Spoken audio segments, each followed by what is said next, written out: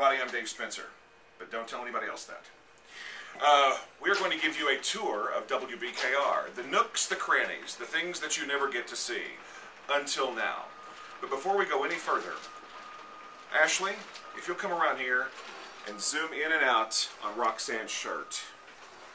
I love the effect here. Look at this. Here's my Look zoom. At this. Look at this. Look at this. Look at this. Isn't that amazing? Okay, that's enough. Roxanne, go back to work. All right.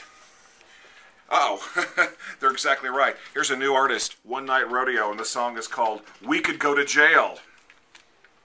Looks like she already has been. Hmm. She's wearing the stripes. I'll never tell. Okay, here we go.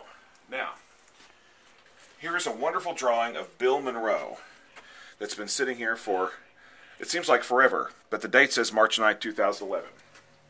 So I guess it's not forever. Now, if you'll notice the People magazine Sexiest Man Alive cover issue, notice everybody up here. You've got Hugh Jackman on the cover, you've got Brad Pitt, you've got Zac Efron, and you've got WBKR account executive Bill Edson, who made the cut finally. But it was 2008. He hasn't been back since. It was that macaroni salad he brought to the potluck. Okay, now, if you'll follow me, we'll go through here. Look at all these. Look here. Uh, let me get the light here, Ashley, and we'll. Uh...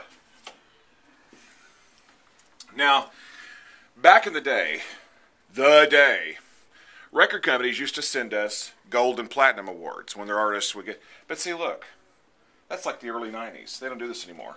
I'm not even sure what he does anymore. Aaron Tippin, Suzy Bogguss, she's awesome, but what does she do now? This is Alan Jackson and Pam Tillis and Brooks and Dunn, you know, people who aren't even on this label anymore. And then we're going to go into the museum.